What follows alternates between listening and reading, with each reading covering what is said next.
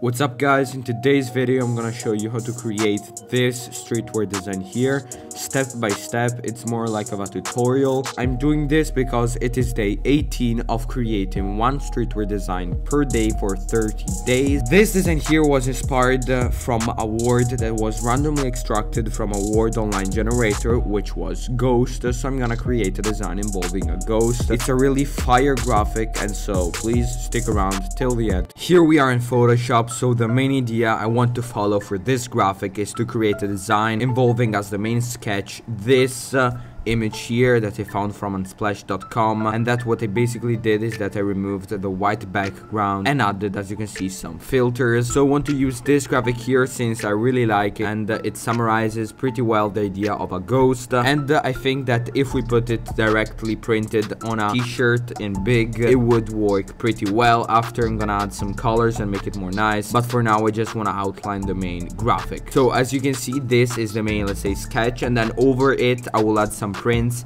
in just some basic colors like black and white so here's uh, the second design I'm gonna add for this whole t-shirt which focuses on the image that is below the sketch here which is basically a ghost with a threshold effect over it. And then I'm gonna add this text here written in this curly ghosty type of font handwritten of course hand drawn over it just to make it more spooky and uh, more nice in a way. So here I'm just uh, writing everything over it moreover I'm just following an off-white type of design the usual off-white design with the front that has on the left chest some black and white image and on the right the logo. So I'm gonna follow something like that. Uh, here the idea of the ghost uh, this hand-drawn ghost I really like it because I'm gonna add it over the image of the ghost that is now below. And uh, I'm gonna add it in a way that it that curves around the ghost.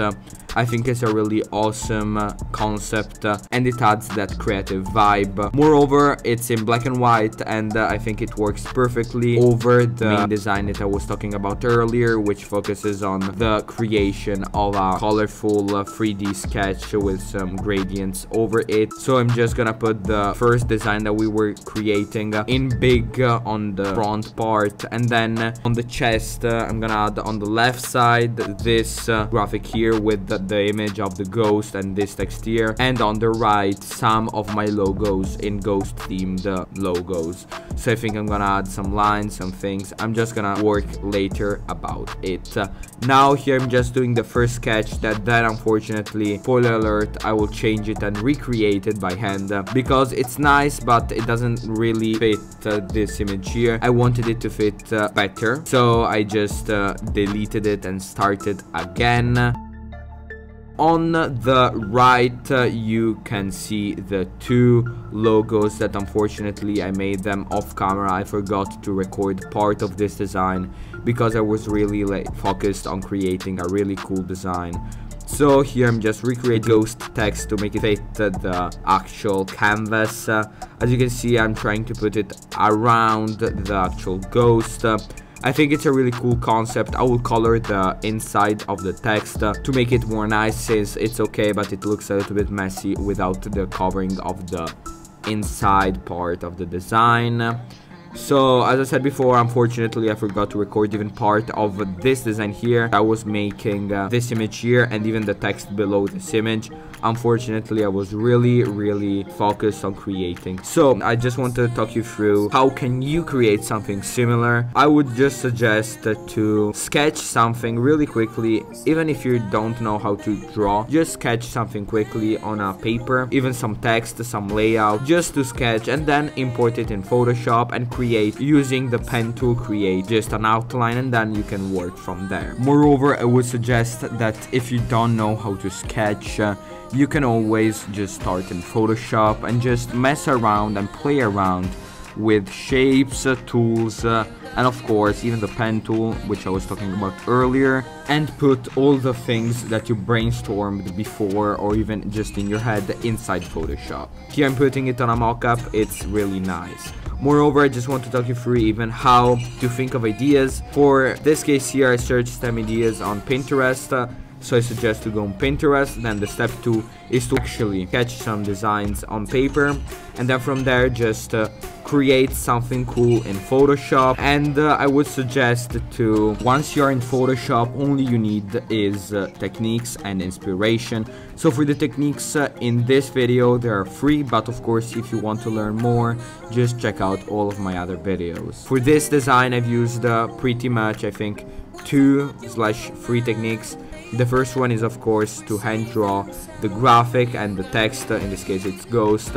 I would suggest to actually draw stuff because you're just making it yours and personal and unique since even the fonts that I'm using, uh, everyone can use them. So I mean, I just want to create something different from the usual. Instead, if you don't like to sketch uh, things up and draw yourself, you can just search some images from Unsplash and other websites, grab them. But I suggest, of course, to modify them and make them look very different from the actual image you used in the first place. This at least is my creative process uh, and this, uh, in my opinion, a good habit that you will want to keep up and learn each day and every day and use it of course. Just because even after when you're going to create something professional you can't just grab an image a random image from online and just use it randomly for copyright reasons. Then the second feature that I added for this graphic here is the threshold effect which adds that black and white vibe. And then the third effect that I will be using right now is uh, the gradient map option which it just adds some gradients over a certain image image. In this case, I'm gonna add as a certain image, the orange image here. And then I'm gonna add some colors and make it more of a gradient 3D uh, and infrared uh, gradient map. And I really like it, so I'm just gonna create something like that. Here I'm just focusing on the different shades of this orange and I didn't like too much the bottom part since unfortunately I needed to cut it out. So I just removed it partially with the eraser tool. It's really nice, so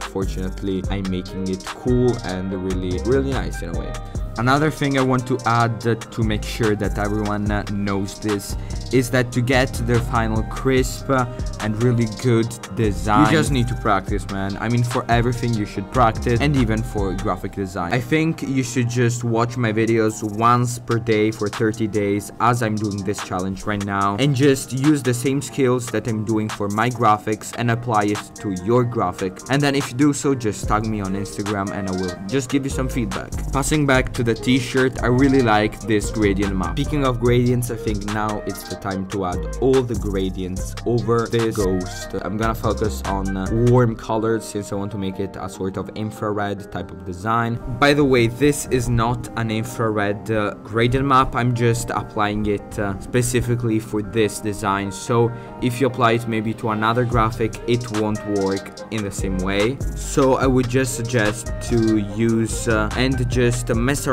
with the gradient map for each design and each image uh, you are applying the gradient map over it since it will change a ton. By the way, if you would like to know some fire cool gradient maps, I suggest to click in the description the first link since it's just a video that I made where I show you 5 cool gradients that I use uh, to create streetwear designs and uh, Instagram edits. It's really nice. So here I added some vibrance and some colors. Uh, I went from uh, a really warm color in the outside, so red uh, to yellow to this greenish and added some vibrance over it. So here's basically the final result. Then I modified some settings to make it more vibrant since it looked a little bit pale in a way. Here's the final result with the three criterions to grade this design since I'm making one design per day for 30 days. I'll catch you tomorrow with a new video. Bye bye.